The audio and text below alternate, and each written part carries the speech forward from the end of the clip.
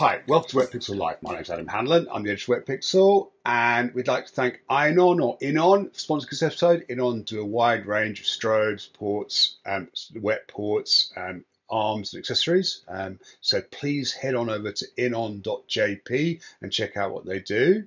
Um, I'm very happy to be joined by Alex Mustard. Hi, Alex.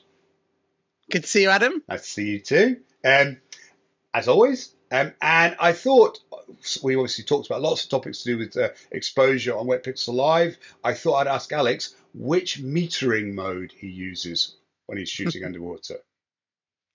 Well, I, you know, to, to, I guess the, the, the slightly flippant but with a lot of truth article answer to that is I don't know, I don't care.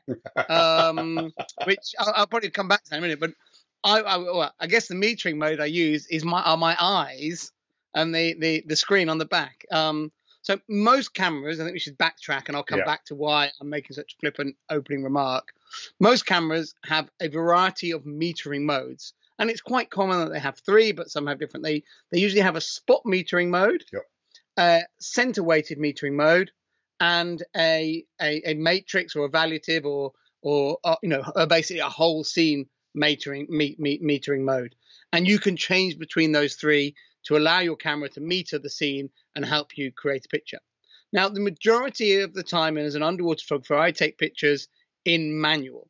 So my camera is not making any decisions based on that.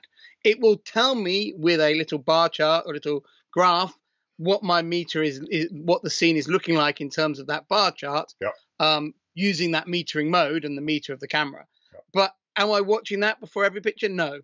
Um, and so that's why my answer was slightly different. For me, it's it's not that critical with a digital camera. Much better to dial in the settings that you think are right, dial in the settings that you want to use, shoot your pictures, and then adjust from there by engaging your brain and thinking, what can I adjust to keep the look of the picture that I want while also getting the exposure correct. Yep. Um, and so, you know, for example, if you're shooting macro, with a, a flash lit picture with a black background, your metering mode is no use to you. Yep. If you're shooting a, a wide angle picture again with a reef with a blue water background, yes, that metering mode can tell you about that blue water. However, I think it's easier to judge where that blue water should be in terms of exposure by looking at the screen rather than trusting the meter because the meter is making a guess of that. The screen is what you actually got. And looking at the screen and making an adjustment is a better mode. So I, I know I, have not answered the question at all, but to run through the metering modes on the camera, um, the spot metering mode is usually taking a single point on uh, within the picture and taking an accurate meter reading of that. Yeah.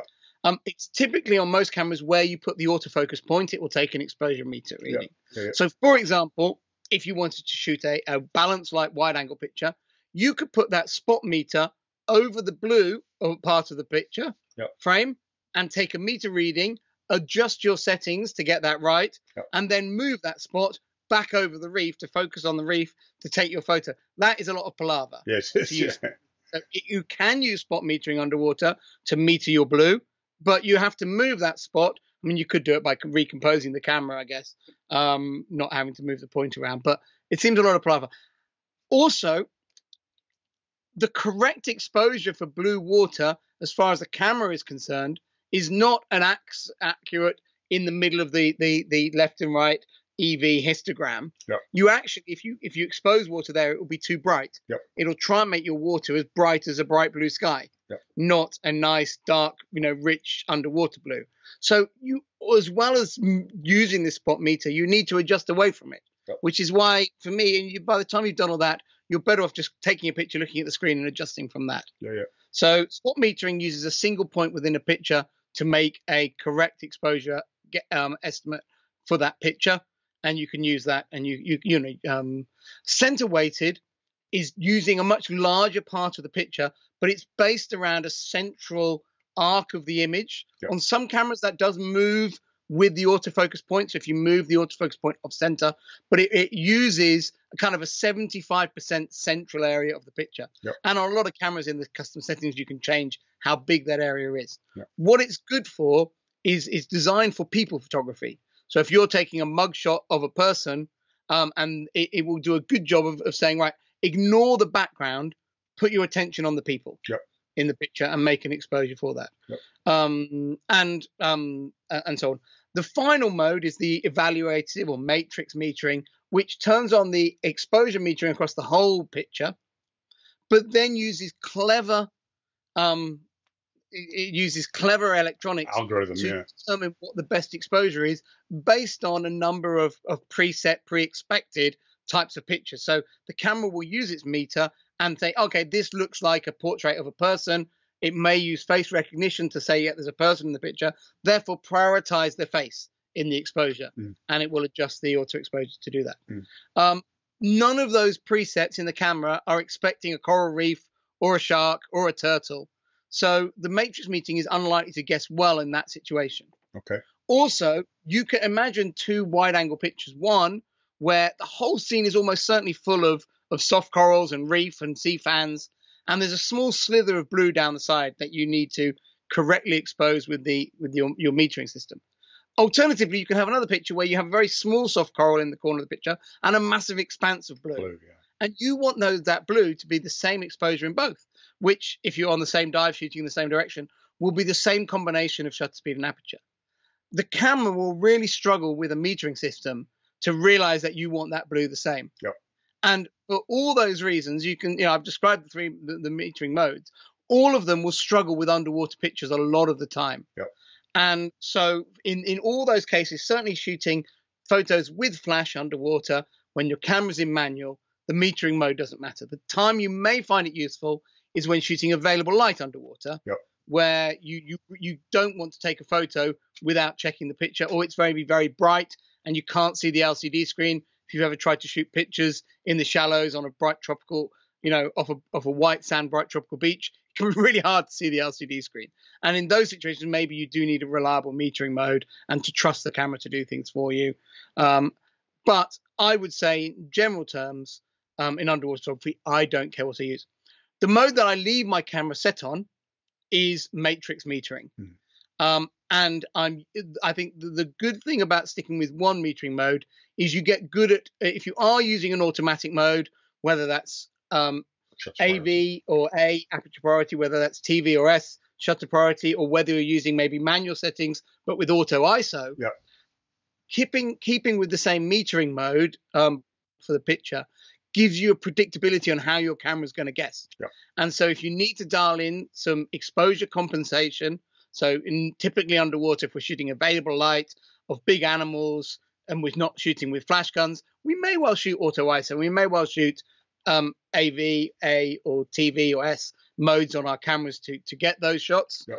Um, but we normally need to dial in some underexposure to stop the the blue water ending up like blue sky of somewhere around minus 0.7 to maybe minus 1.3 um, EV Yep. um, to get a good blue. And the reason I like to stick with the same metering mode is I get used to with my cameras predicting how it will guess, and I basically set, can then set a consistent offset from that with the EV that Get gives me reliable feature modes. Yeah. And I think if you're switching between spot and center and, and matrix all the time, you're going to confuse the camera. So I think yeah, it- I'm a big sorry. it, it may be worth um, having a we, we Alex and I did a video about the various um, different uh, exposure modes. So so program aperture priority, shutter priority, and manual modes. Um, previously, so maybe worth having a look at that in conjunction with this. Um, I, I was going to pick up on something that you mentioned, Alex, about using eyeball Mark One to determine your exposure on the LCD Yeah, screen. in my rant. Sorry about that. Um, all right. Um, and and I, I, I kind of uh, something else that I think maybe is is a lot of people get very um, involved with looking at histograms on screens of cameras and using a histogram to determine exposure. Um, and whilst that can have utility, and obviously it works for some people, personally I tend not to have the histograms on. Um, and, and like you, Alex, I tend to be able to look at the screen and and figure out whether I've clipped the highlights or or or, or destroyed the shadows. So so I'm I'm kind of I'm kind of much more I do use the actual review screen um, to determine how my exposure looks rather than histograms. But um, there are occasions when I mean I, I might turn a histogram on. Um, an example of this is again as you mentioned, it's shooting into very bright light. It's very easy, you know, to, to inadvertently clip the highlights when you're shooting into bright light because it's hard. You're looking into bright light, your eyes get Mm. Get blinded by the bright light, and then you can't really see what's in the monitor.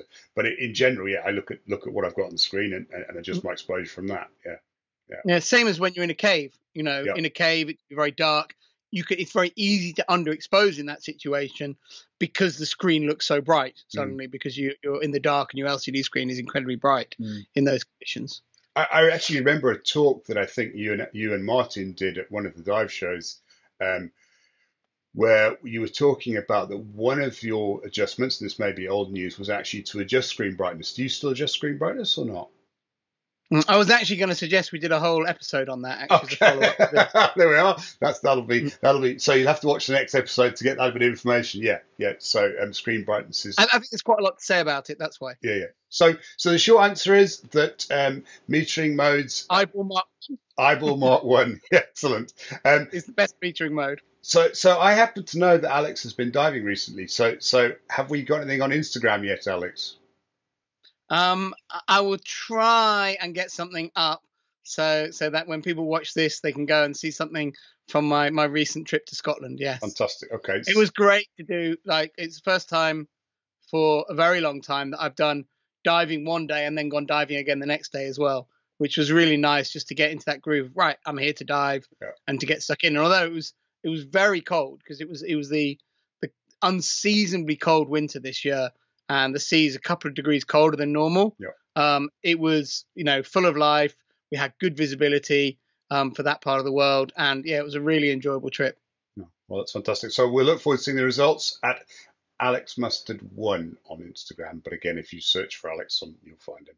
So thank you very much, um, and thanks again to Inon or on sponsoring this episode. Um, we really appreciate the support our sponsors give us. Um, thank you all for watching. Please feel free to add any comments or suggestions in the comment section and drop us a like if you enjoyed it. Thank you very much. I look forward to seeing you again soon.